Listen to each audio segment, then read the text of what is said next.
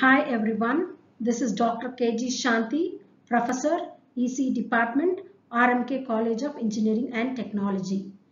In this video presentation, we are going to study about Laplace transform.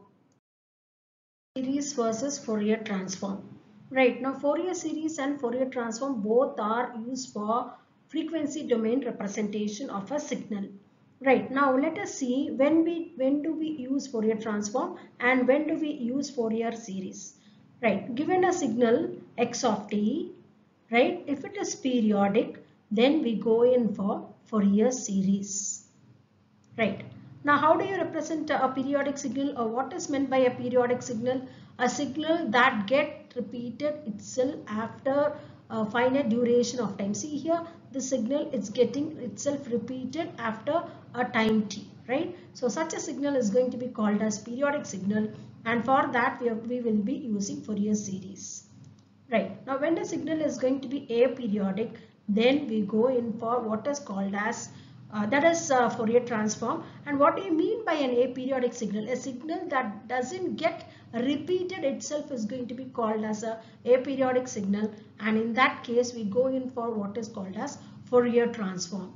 Right. In Fourier series itself, based on whether the signal is CT or DT, we have continuous time Fourier series and discrete time Fourier series. In the same way, in Fourier transform also, we have continuous time Fourier transform and discrete time Fourier transform. Now let's proceed on to or let's know what is meant by Fourier transform. Right. Now what is Fourier transform? Uh, this I had been telling in the previous slide also. It is used to transform signals from time domain representation into frequency domain and it is mainly used for non-periodic signals. Right. Now in Fourier transform, you have what is called as analysis equation and what is called as synthesis equation. Analysis equation is nothing but given a signal, you, you are going to have or you're going to break the signal into its frequency parts or into its constituent parts. Right. So you, you study about the various frequency components that are going to be present in the signal. Right. That is going to be called as analysis equation. Now what is called as synthesis equation? Given the various uh, frequency components or various constituent parts, how do you get back the original signal? That is going to be called as synthesis equation. Right. This analysis and synthesis equation together form Fourier transform pair.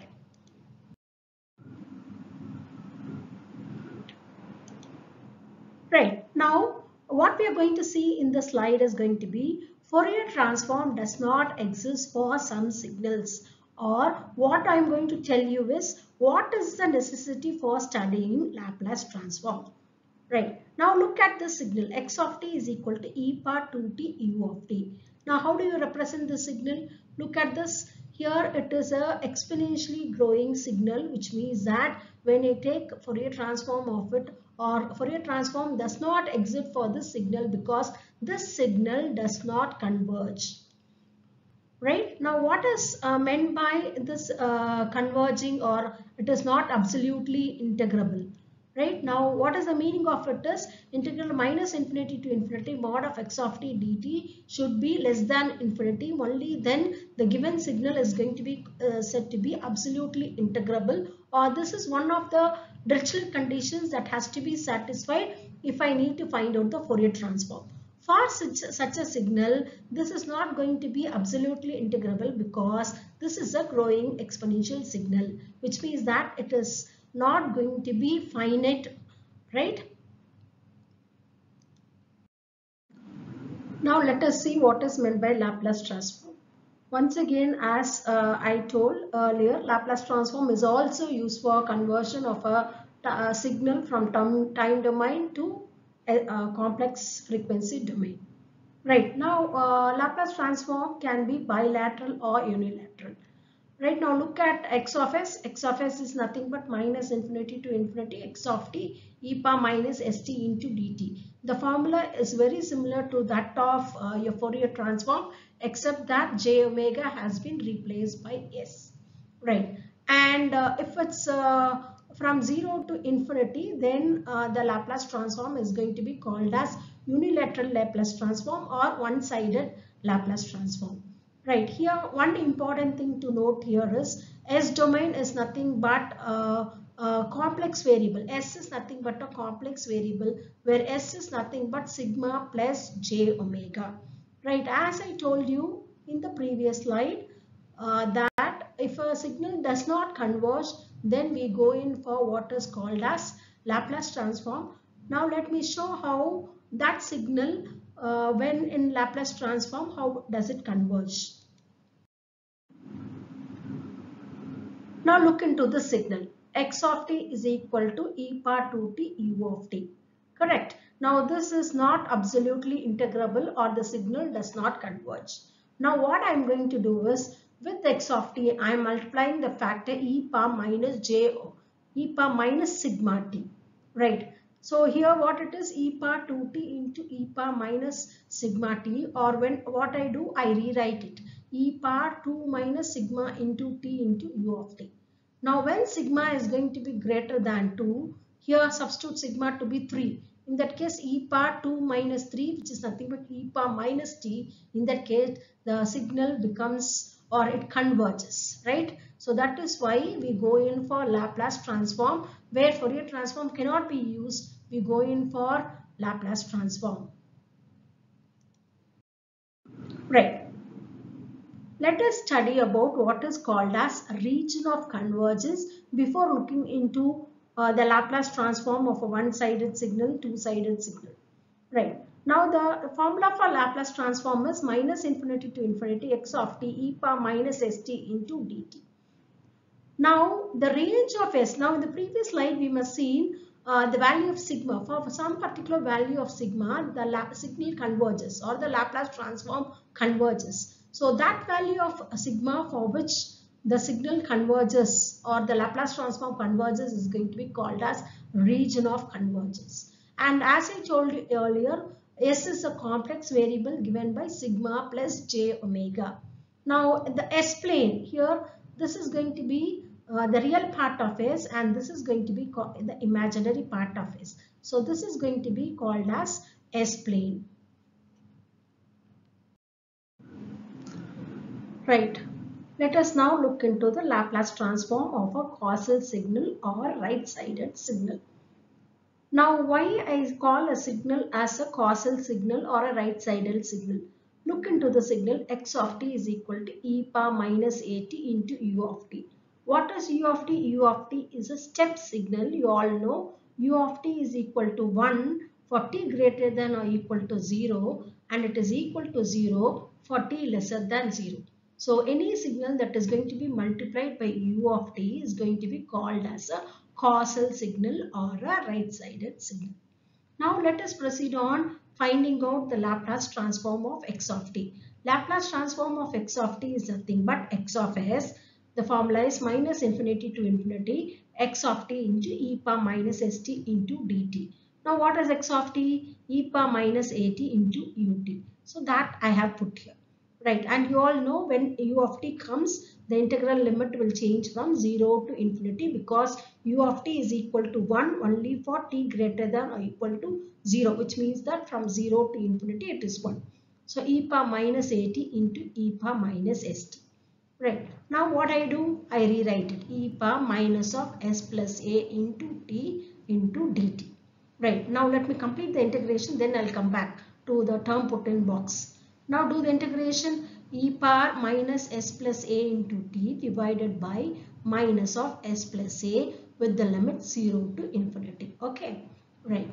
Now uh, apply the limits. Uh, when I apply the upper limit, it is e power t is infinity. So e power minus infinity and lower limit is t is 0. So e power minus 0 by minus of s plus a. You all know e power minus infinity is going to be 0. e power 0 is going to be 1 so it is minus 1 by minus s plus a. Minus and minus gets cancelled. So it is 1 by s plus a. So what we have found? The Laplace transform of e power minus at into u of t is nothing but 1 by s plus a. Right. Now when will the signal converge or what is the condition for the convergence of the signal? Now look here. It is e power minus of s plus a into t. Right. Now for this signal to be converging, this should be s plus a should be positive. Or why, why am I saying that s plus a should be positive?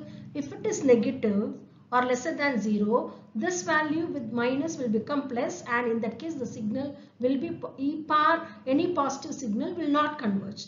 So naturally s plus a should be greater than 0 or s plus a is positive, right? So s I am taking this plus a to the other side. So s greater than minus a or uh, real part of s should be greater than minus a or what is real part of s? Sigma. Sigma should be greater than minus a. So this is going to be, so what I am going to say is for sigma greater than equal to minus a, this signal converges. Or what is region of convergence? Region of convergence is sigma greater than minus a. Now how will I draw the diagram for this? Now where is the pole I have? uh, s plus a so s is equal to minus a or sigma is equal to minus a which means that I have a pole at minus a right? And what is the region of convergence? Region of convergence is greater than minus a. Uh, so you have region of convergence to the right side of your uh, sigma is equal to minus a. Is that clear right now let us go on to finding the Laplace transform of a non-causal signal or a left-sided signal. What do you mean by a non-causal or a left-sided signal?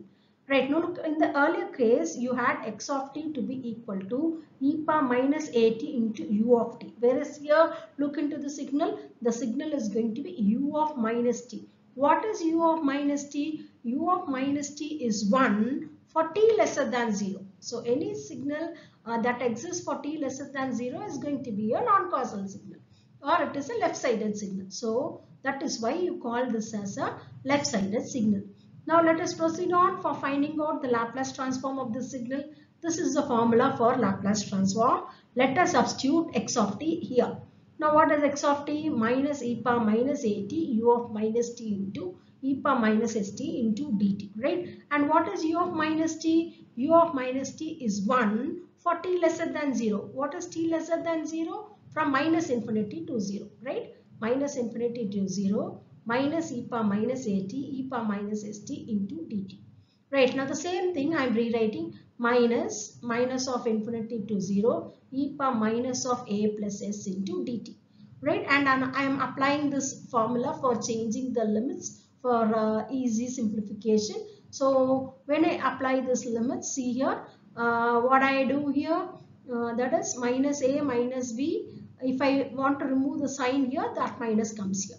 Right? So when I apply this formula to this case, see here what it is becoming. E power, this minus has gone. So it is s plus a into t. Right? One minus will come in the front. Already there is a minus here. Minus and minus will become plus. So what is the equation becoming? Minus infinity to 0 e power a plus s into t into dt. Right? Now I integrate it. Right? Now I integrate it. I apply the limits right? e power 0 is 1 and e power minus infinity is 0. So you get x of s is equal to 1 by s plus a. Right. Now uh, look at the region of convergence. Now here if I want the signal to converge, the signal in the bracket should be negative. Only e power minus t or e power minus 2t. So e power minus t will only converge which means that s plus a should be negative. So s plus a lesser than 0 or s lesser than minus a or real part of s lesser than minus a or what you say sigma lesser than minus a which means that region of convergence sigma should be lesser than minus a. So how will I plot the region Right. Now look into this slide here. Uh, there is a pole at sigma is equal to minus a and the region of convergence is for sigma lesser than minus a that is why this side of the part of the S-plane is shaded. Okay, now for this left-sided signal, the Laplace transform x of s is equal to 1 by s plus a. For the right-sided signal also, x of s is equal to 1 by s plus a. Which means that then how will you uh, differentiate whether the given signal is a right-sided signal or left-sided signal? that is based on your region of convergence. If region of convergence sigma is lesser than minus a, then it is a left-sided signal. In that case, x of t will have u of minus t term. And if r of ROC sigma is greater than minus a, then it's a right-sided signal. In that case, x of t will have the term u of t. Let us now find out the Laplace transform of a two-sided signal. Now in this case the question is x of t is equal to e power minus at into u of t plus e power minus bt into u of minus t. In that case what I am doing is I am right I am splitting x of t as x1 of t into x, x plus x2 of t. Here x1 of t is e power minus at into u of t and x2 of t is e power minus bt into u of minus t. On looking into the question itself you know that since it's u of t it's a right sided signal and this is u of minus t it is going to be left sided signal. So what will be x1 of s for a right-sided signal? We have seen uh, the integration. Here the integration will change from 0 to infinity since it is u of t, right? So do the integration and we very well know that if it is e power minus at into u of t, the Laplace transform will be equal to 1 by s plus a, correct? So See here, x1 of s is going to be equal to 1 by s plus a and for a right-sided signal, the region of convergence is going to be sigma greater than minus a. Now, uh, let us come on to x2 of s. Now, what is x2 of s? e power minus bt into u of minus t, e power minus st into dt. Since you have minus uh, t here, your integral limits will change from minus infinity to 0. Yes or not? Since u of minus t is there. Do the integration when I do the integration, I am going to get the answer as minus 1 by s plus b. Right? And here what is the region of convergence? Sigma lesser than minus b. Now what is your x of s? x was x of s is going to be x1 of s plus x2 of s. So what is the answer? 1 by s plus a minus 1 by s plus b.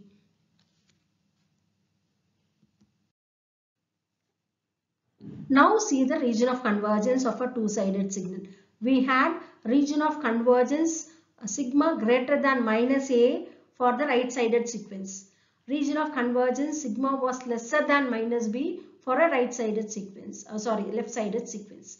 Now what happens here? Now for a two-sided sequence which has part of right-sided and part of left-sided uh, signal, in that case uh, the region of convergence is going to lie between two poles here, minus a and minus b. Thank you all.